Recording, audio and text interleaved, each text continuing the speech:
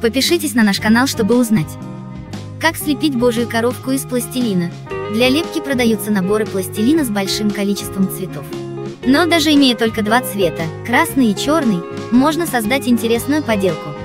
В этом мастер-классе мы будем лепить божью коровку. Для лепки такой божьей коровки мы взяли пластилин черный и красный, зубочистку, черный перманентный маркер. Основные детали туловища нашей божьей коровки будут выполнены из черного пластилина. Мы скатываем две заготовки различного размера, одна из них потребуется для создания туловища, а из второй сделаем голову нашего насекомого. На заготовке для туловища сделаем небольшое углубление, где затем присоединим голову. Соединяем две детали вместе. Такая основа для божьей коровки у нас получается.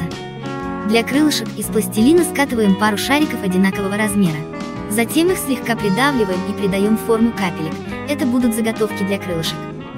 Прикрепляем красные крылышки к черной заготовке нашего насекомого, расположив их под небольшим углом.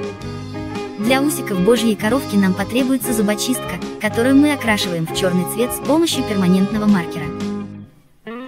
Отламываем от зубочистки небольшие кусочки и вставляем их в голову. Это будет основа для усиков.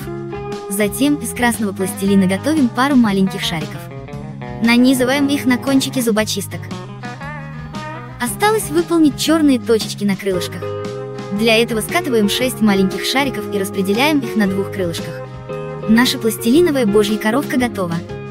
Поделитесь нашими МК в соцсетях, посетите наш сайт и Яндекс.Дзен канал своими ручками, подпишитесь на YouTube канал. И огромное вам спасибо за лайки. Всего доброго! Все ссылки под видео.